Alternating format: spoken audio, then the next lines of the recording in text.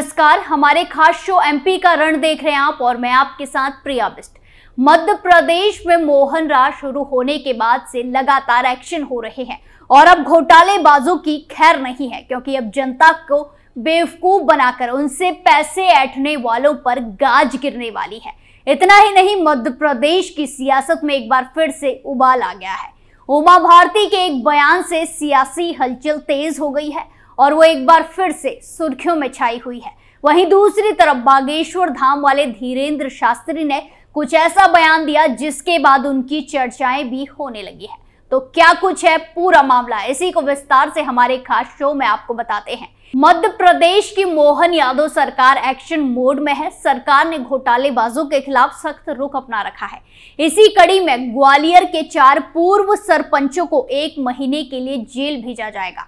इन्होंने विकास कार्यों के लिए दी गई राशि हड़प ली थी। लिस्ट में तीन महिला सहित चार पूर्व सरपंचों के नाम है। चारों ने सत्ताईस लाख पिचानवे हज़ार रुपए का घोटाला किया था। घोटाला उजागर होने के बाद इन्हें राशि सरकार खाते में जमा करने के लिए आखिरी नोटिस दिया गया था, जिसका इन्होंने पालन नहीं किया। पूर्व सरपंचों को नोटिस देते हुए राशि वापस करने का आदेश दिया गया था, लेकिन इन्होंने ऐसा नहीं किया। इसके बाद जेल भेजने के आखिरी नोटिस पर भी इन्होंने पैसा वापस नहीं किया। यही वजह है कि जिला पंचायत सीईओ विनोद कुमार सिंह ने इन चारों के जेल आदेश जारी कर दिया है। जिनके खिलाफ कार्रवाई की गई है, उन पूर्व सरपंचों में करैया ग्राम पंचायत की पूर्व सरपंच गुड्डी बाथम, इटवा ग्राम पंचायत की रामश्री, हर्षी ग्राम पंचायत की गुड्डी देवी और बारलो के मुन्ना लाल आदिवासी शामिल है। इस साल ग्वालियर ज़िले में 50 से ज़्यादा पूर्व सरपंचों के लिए जेल आदेश जारी हुए हैं। तो वहीं दूसरी तरफ़ मध्य प्रदेश की पूर्व मुख्यमंत्री उमा भारती सीहोर पहुँची और उन्होंने पहुँचते ही तहलका मचा दिया। दरअसल उन्होंने शहर के प्राचीन गणेश मंदिर में पूजा अर्चना की। इस दौरान मीडिया से चर्चा करते हुए बीजेपी की फायर ब्रांड नेत्री उमा भारती ने पूर्व सीएम शिवराज सिंह चौहान के बयानों को लेकर दो टूक कह दिया कि मैं उनकी प्रवक्ता नहीं हूँ। इसका जवाब वही देंगे। दरअसल पांचवी बार प्रदेश का मुख्यमंत्री नहीं बन पाने को लेकर शिवराज ने अपने मंगलवार को अपने निर्वाचन क्षेत्र बुधनी में बयान दिया था। पूर्व सीएम ने कहा, कई बार राज तिलक होते होते वनवास भी हो जाता है। ऐसा किसी ना किसी उद्देश्य की पूर्ति के लिए होता है। कोई बड़ा उद्देश्य होगा। शिवराज ने यह भी जोड़ा कि मेरी ज़िंदगी बहन, बेटियों और जनता जनार्दन के लिए है। आँखों में आँसू नहीं रहने दूँगा, दिन रात काम करूँगा। वहीं बीजेपी की फायर ब्रांड नेत्री ने शाहजहापुर कलेक्टर किशोर कन्याल को हटाने पर मुख्यमंत्री मोहन यादव का अभिनंदन किया। उमा भारती ने कहा, प्रशासनिक अधिकारी जनता और सरकार के सेवक है। सेवक को सेवक की तरह ही बात करनी चाहिए। गवर्नमेंट सर्वेंट को किसी का अपमान करने का अधिकार नहीं है। आपको बता दें कि ट्रक ड्राइवर्स की हड़ताल के बीच शाहजहापुर के कलेक्टर किशोर कन्याल का एक वीडियो सोशल मीडिया पर सामने आया था, जिसमें वो हड़ताली ड्राइवर्स की एक मीटिंग के दौरान एक शख्स से बोल रहे थे कि तुम्हारी औकात क्या है? इसी मामले के तूल पकड़ने पर मुख्यमंत्री डॉक्टर मोहन यादव ने शाजापुर कलेक्टर किशोर कन्याल को पद से हटा दिया। राम मंदिर आंदोलन के प्रमुख चेहरों में शामिल उमा भारती ने अयोध्या जाने को लेकर कहा है कि मुझे छह दिन पहले बुलाया गया है। 22 जनवरी को रामलला की प्राण प्रतिष्ठा है। मैं 18 को पहुँच जाऊँगी। भगवान राम को लेकर कहा कि वो मर्यादा के लिए आदर्श जीवन का उदाहरण है। भारतीय संस्कृति और भारत की पहचान है। इस दौरान एक सवाल के जवाब में बीजेपी की नेत्री ने कहा की लोकसभा चुनाव में उतरने की बात नहीं करूँगी। अभी तो अयोध्या में मग्न हूँ। इससे पहले पूर्व मुख्यमंत्री ने सीहोर के प्राचीन गणेश मंदिर में दर्शन कर पूजा अर्चना की और प्रदेश की खुशहाली, समृद्धि की कामना की। अगर बात करें धीरेन्द्र शास्त्री की तो उनके बयान से भी सियासत को जोड़कर देखा जा रहा है। दरअसल, अयोध्या में 22 जनवरी को भगवान राम की मूर्ति की प्राण प्रतिष्ठा समारोह में जाने माने कथावाचक पंडित धीरेन्द्र शास्त्री भी जा रहे हैं। बागेश्वर धाम के पीठाधीश्वर ने इस दिन को दीपावली से भी बड़ा दिन बताया है। बागेश्वर धाम के पीठाधीश्वर पंडित धीरेन्द्र शास्त्री राम मंदिर जाने को लेकर अति उत्साहित हैं। उन्होंने बताया कि राम मंदिर आज तक की समस्त सनातनियों की सबसे बड़ी विजय है। ये उत्सव दीपावली से बहुत ज़्यादा खास है। निश्चित ही कोई अभागा होगा जिसको इस दिन का इंतज़ार ना हो।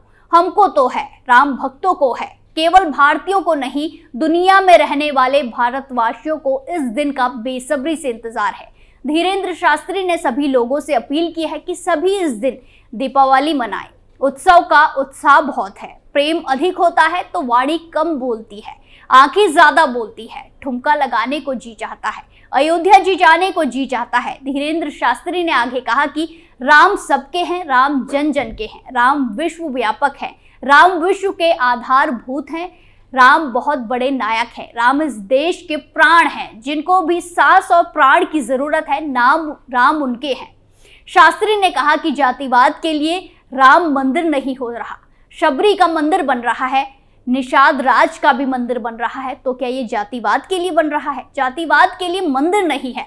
अपितु राम भक्तों की आस्था के लिए मंदिर बन रहा है। इतना ही नहीं, कांग्रेस पार्टी की अगर बात करें तो दिल्ली के बाद कांग्रेसियों का जमावड़ा भोपाल में लगने वाला है। दरअसल राहुल गांधी की न्याय यात्रा और लोकसभा चुनाव की तैयारियों को लेकर कांग्रेस की 8 जनवरी को अहम बैठक होने जा रही है।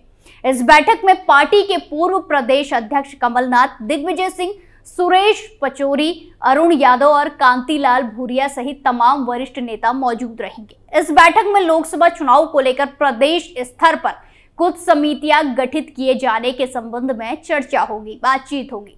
प्रदेश कांग्रेस के अध्यक्ष जीतू पटवारी, सभी जिला अध्यक्ष जिला प्रभारी सहित सभी मोर्चा संगठन को भी इस बैठक में बुलाया गया है। विधानसभा चुनाव से पहले आईसीसी द्वारा नियुक्त किए गए लोकसभा प्रभारियों की भी इस बैठक में बुलाया गया है। वो विधानसभा चुनाव के समय अपने प्रभार वाले लोकसभा क्षेत्र में दौरा कर रहे, आए थे।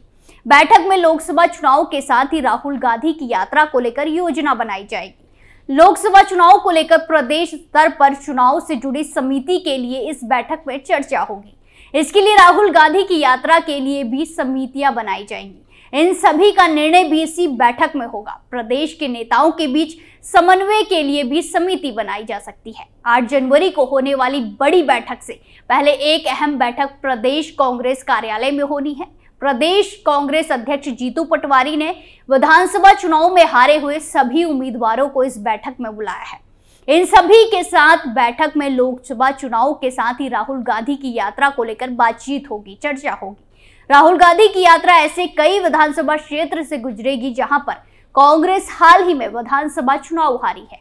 तो वहीं दूसरी तरफ़ बीजेपी ने भी अपनी नई रणनीति के हिसाब से प्लानिंग भी शुरू कर दी है।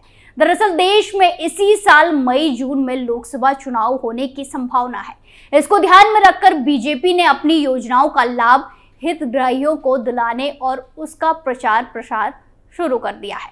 इसके लिए भाजपा विकसित भारत संकल्प यात्रा निकाल रही है। इस कैंपेन को लगाकर हितग्राहियों के फॉर्म भराए जाएँगे। वहीं रथ के माध्यम से केंद्र की योजनाओं की जानकारी दी जा रही है। यात्रा प्रदेश के 40 प्रतिशत हिस्सों को कवर कर चुकी है। यात्रा के माध्यम से बीजेपी लाभार्थियों को अपने पालने में लाने की कोशिश कर रही है। साथ ही उनको योजना से जोड़कर केंद्र सरकार की योजनाओं का लाभ भी दिलाया जा रहा है। इसके लिए भाजपा ने मंडल स्तर पर तैयारी की है। हाल ही में भोपाल में अलग अलग मोर्चों की बैठक कर उनको अलग अलग ज़िम्मेदारी दी गई। केंद्र सरकार की आयुष्मान योजना के तहत प्रदेश में तीन करोड़ साठ लाख लोगों के कार्ड बनाए जा चुके हैं। इनमें से करीब तीस लाख लोगों ने आयुष्मान योजना का लाभ भी ले लिया है। पीएम स्वनिधि योजना के करीब 11 लाख लाभार्थी हैं। प्रदेश में लोकसभा की 29 सीटें हैं। इसमें छिंदवाड़ा सीट छोड़कर बाकी भाजपा के पास ही हैं। इस बार बीजेपी का लक्ष्य छिंदवाड़ा समेत सभी लोकसभा सीट जीतने का है। इसीलिए हाल ही में अलग अलग मोर्चा युवा महिला समेत सभी को लाभार्थी वोटरों तक पहुँचाने के लिए कहा गया है। इसके लिए उनको अलग अलग योजनाओं का लाभ दिलाने के साथ ही संपर्क करने के लिए कहा है। इसके माध्यम से बीजेपी केंद्र की योजनाओं का लाभ लेने वाले ऐसे वोटरों को भी अपने साथ जोड़ना चाहती है, जो अभी उसका परंपरागत वोटर नहीं है। मध्य प्रदेश बीजेपी के प्रदेश मंत्री रजनीश अग्रवाल ने कहा कि विकसित भारत संकल्प यात्रा हर क्षेत्र और गाँव तक पहुँच रही है। इसमें केंद्र और राज्य सरकार की योजनाओं का न सिर्फ़ लाभ दिया जा रहा है, बल्कि उससे उनको जागरूक भी किया जा रहा है। यहाँ डबल इंजन की सरकार का पहला प्रयास है हितग्राहियों को ढूंढ ढूंढ कर उसका लाभ दिला रही है। हमारे खास शो में फ़िलहाल के लिए इतना ही। बाकी तमाम खबरों के लिए देखते रहिए कैपिटल टीवी। नमस्कार।